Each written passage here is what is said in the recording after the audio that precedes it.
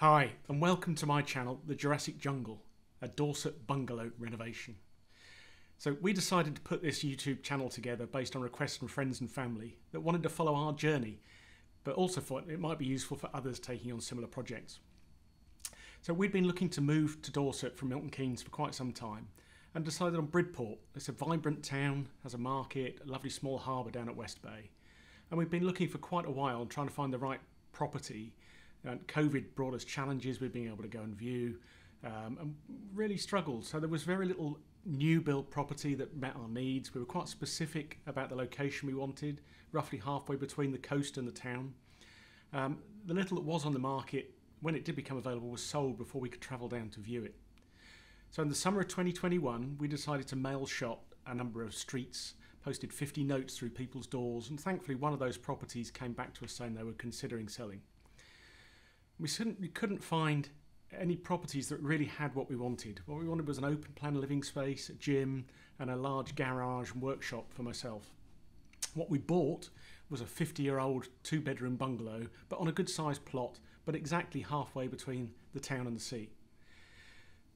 We planned to turn most of the existing bungalow into three bedrooms and three bathrooms and add a large 65 square metre open plan living space on the other side of the property, a 50 square metre workshop, uh, gym and study. Um, so roughly doubling the size of the property from 80 to 160 square metres. While I'm no builder, I have fitted bathrooms and kitchens in the past and have an electronics background and dabbled with home automation for the last 20 years. And this time we tend to take what we've learnt from those jobs and try and get everything right first time, at least we hope to anyway. The bungalow was owned previously by an elderly couple who were struggling to maintain the garden.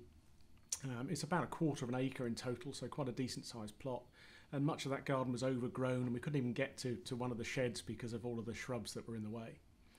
We moved in last summer and had a lot of help to clear some of the garden from family.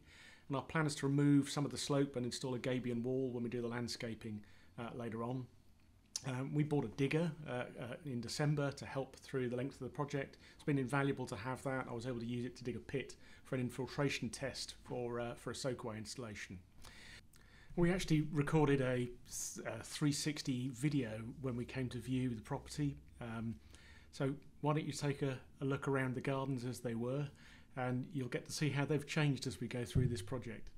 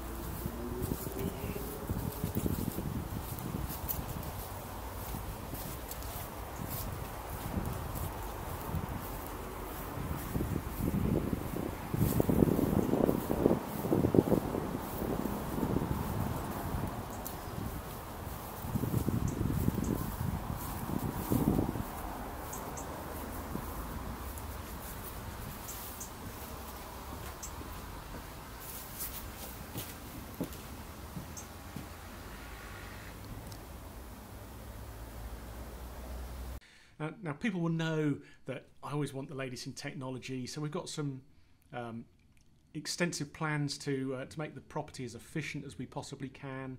We want to put in underfloor heating throughout the property, um, solar, battery, charging point for my EV vehicle. Um, we're on the fence at the moment about moving to an air source heat pump or staying with gas, and that will depend a little bit on a couple of issues around what the um, heat loss calculations turn out to be for the design. Um, also, whether we would need to go for three phase power to be able to power the air source heat pump and have the electric car charger as well. Um, we also plan a great deal of, of home automation. So, I have a home automation system installed, uh, fully wired, that will control the lighting, heating, security, possibly audio as well. Um, we plan to do a lot of the uh, electrical installation for that ourselves. Thankfully, we've got a, an electrician that lives close by who's agreed to supervise us doing the installation, help with second fix, certification, and sign off of, uh, of all of that work. Now, with prices of materials continuing to rise, it's making the project a little bit difficult to budget, as you can imagine. So we've got some of the features that are must-haves and others that will be nice to have, and particularly in that home automation front. So, you know, we plan to wire for everything so that some of that functionality, things like automated shading, um, could be added later if we needed because the wires are in place ready for it. So, so far we've completed a lot of the demolition work. We've taken down the garage, the large porch that used to be my home office. Um, I mentioned that we want underfloor heating, so we'll have to remove all of the existing floors because we want all of that underfloor heating poured in, in one go to keep uh, good levels across the building. So we're going to have to move out for a few months. Um, there isn't really short-term rental property here other than holiday accommodation, which obviously be quite expensive uh, to stay in for several months. So we're looking at the exciting prospect of a caravan in the garden uh, to live in through the summer. So I hope that you're interested in what we're doing. We plan to give you know regular updates as we go through the stages, looking at reviewing the technologies that we're putting in, the choices that we make, um, the successes and challenges that we have as we go through all of this. So our builder starts um, to build the shell in uh, just a week and a half from now.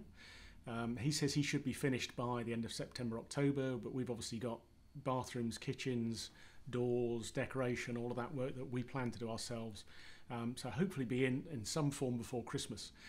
So please, I'd like you to like, click and subscribe to follow the journey that we have here at the Jurassic Jungle, a Dorset bungalow renovation. Um, I'm sure you're going to find it interesting with the success and challenges that we have as we go through this project. Thank you.